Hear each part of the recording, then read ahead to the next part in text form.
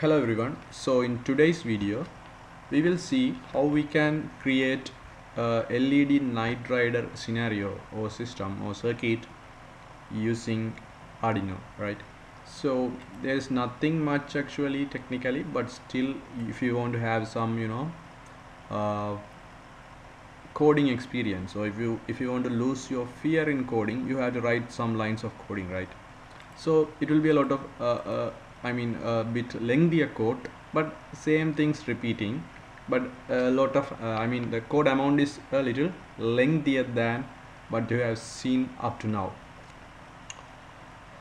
Okay that's fine. So it's not a big deal at all. You might have sometimes done it. Since we know the blink this is not going to be a hard part and it's going to be a piece of cake. And we can see a demo in the Tinkercad. I will show you. So but you will be doing it in with with your Arduino in real life okay? So first you will understand what a Knight Rider circuit is. Knight Rider circuit is none other than a few LEDs there and the switching on of the LED that means the illumination of the LED is going to run between each and every LED that means first LED will on initially then first will go off and second will be on okay then second will go off at the same time third will be on. Then fourth will go off sorry third will go off fourth will be on. And finally fourth will go off and fifth, fifth will be on. And when fifth goes off again first LED will be on. That means it will repeat.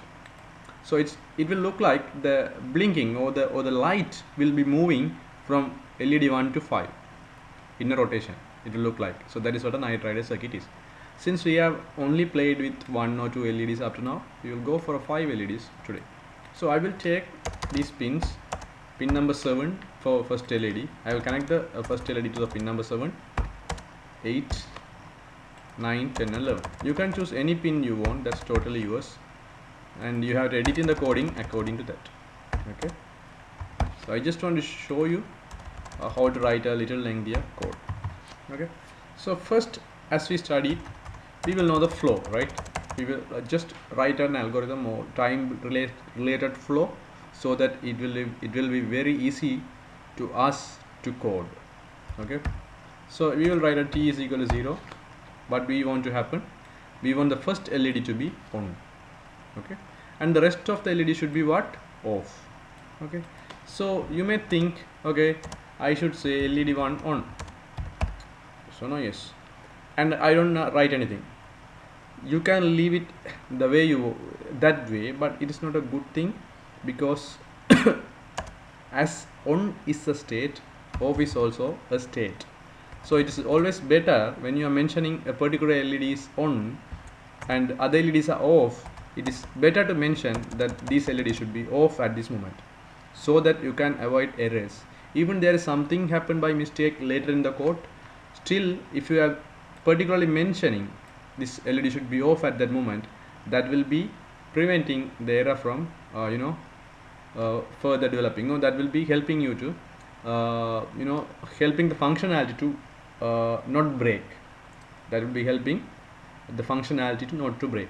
So let's say you're not saying anything about the other LED since they are off but in the later in the code somebody is sending the code and it, somewhere in the bottom they are switching on the LEDs so what will happen those LEDs will be on when the code is coming to the first line. But if you are if you are separately mentioning okay while this is on LED 2 should be off then no matter whoever changing the code anywhere this line when the code is coming to this line LED should 2 should be 2 will be off while LED 1 is on.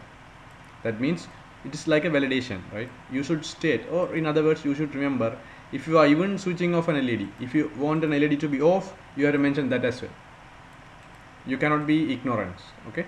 So at t is equal to 0 you know first LED should be on and the other all the LED should be off. So you should write LED 3 off yes or no? So short in short way write uh, LED 4 off LED 5 off. This is at t is equal to 0 then we have to take one second gap time delay in the particular state and at t is equal to 1 we have to switch on the next LED while switching off the first LED so I will say like this LED 1 to save the time I will say LED 1 off. Okay. We will say LED 2 to 5 I'm sorry I'm sorry that's my mistake. LED 2 on. LED 3 to 5 off gotcha easy right? Again right? So at t is equal to 2 so again we have a sec one second gap so I will write it 1s okay?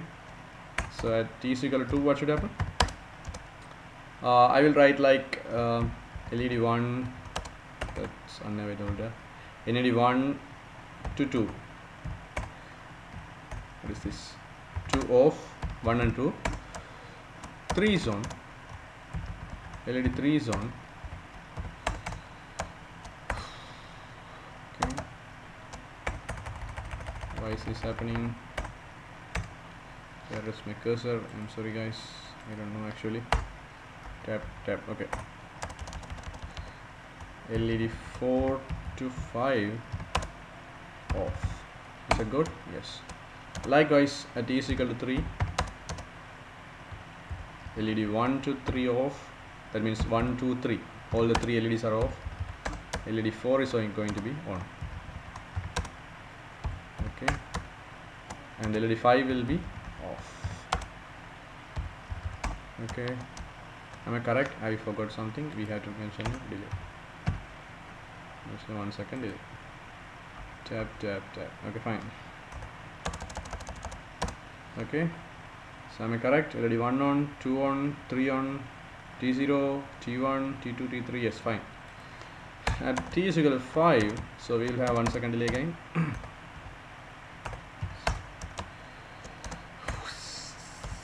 T is equal to 5 we know LED 1 to 4 off and only LED 5 should be.